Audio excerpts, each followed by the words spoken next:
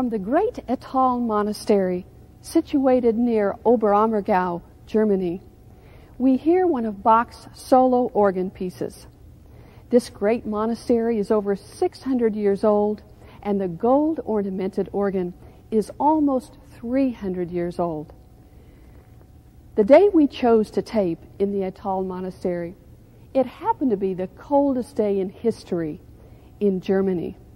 And outside, the temperatures were 35 below zero, and inside the monastery, they were 10 degrees above zero. So you will know how frozen my hands were, and the very heavy coat I was wearing kept me warm.